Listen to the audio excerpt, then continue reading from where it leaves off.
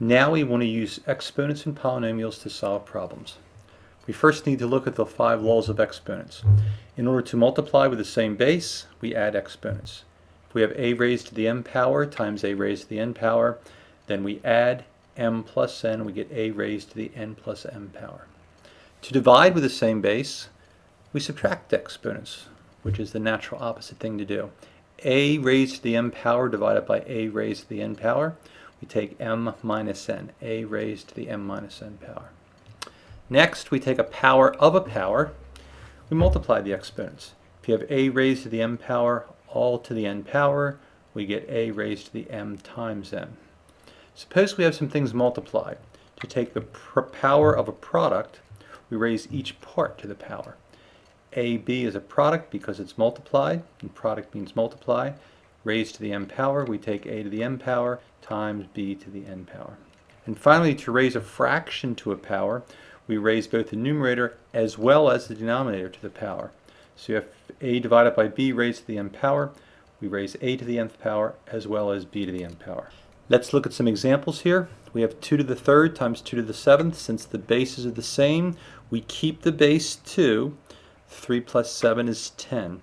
Now this is the answer, but normally if we have numbers, we can simplify this multiplying it out or using our calculator to 1024. If we have r to the fourth times r to the seventh, since the bases are the same, we can add exponents r to the 11th. What happens if we have w to the third raised to the fifth power? We have a power of a power that will give us w2 that we multiply 15th power. If we have 2x raised to the third, we have a product, things multiplied. We take 2 and raise that to the third power, as well as x raised to the third power. Now 2 to the third power we should not leave in that form. 2 times 2 times 2, so our result is 8x to the third power. Watch carefully on letter E, 5 times 8x squared.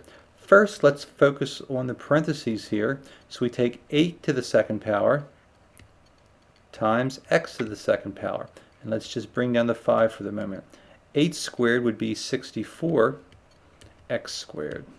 But now we want to make this nicer, so 5 times 64 is 320 x to the second power.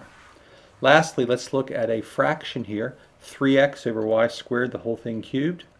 First we raise the whole numerator to the third power, which means we have to raise 3 to the third power and x to the third power.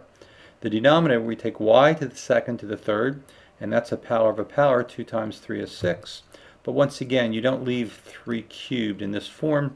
3 times 3 times 3, so our answer would be 27x cubed divided by y to the sixth. Next, we want to look at some polynomial definitions. A term is a single number or letter or combination of them multiplied, like 7 times a times b to the second. Since they're all multiplied, it's still a single term. A polynomial usually means more than one, is one or several whole number powers of a variable. 7x to the second power minus 4 plus 9x. If they're in descending order according to the powers of x, we that's the normal way we like to write our polynomials. A numerical coefficient is the number in front of the given term, like 5x to the third, 5 would be the numerical coefficient. A polynomial can can contain one term called a monomial, two terms, a binomial, or three terms, a trinomial. So 4b would be a monomial since there's one term. a plus 2b, there are two terms, so that would be a binomial. And 4x squared minus 3x plus 7 would be a trinomial. Let's identify some of the parts for 11x squared minus 9x plus 12. First, since it has one, two, three terms, we identify this as a trinomial. Notice it is in descending order. The reason for that is x squared. There's an understood 1 here. So because the exponents are going down, we say it's in descending order.